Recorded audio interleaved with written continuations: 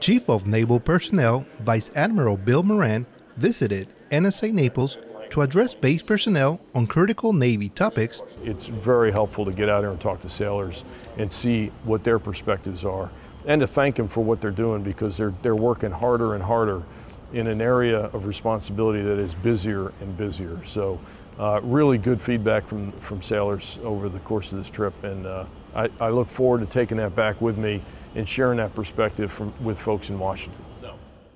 As the Chief of Naval Personnel, Vice Admiral Moran is responsible to the Chief of Naval Operations for the Navy's manpower readiness. Specialist Raul Pacheco, Naples, Italy.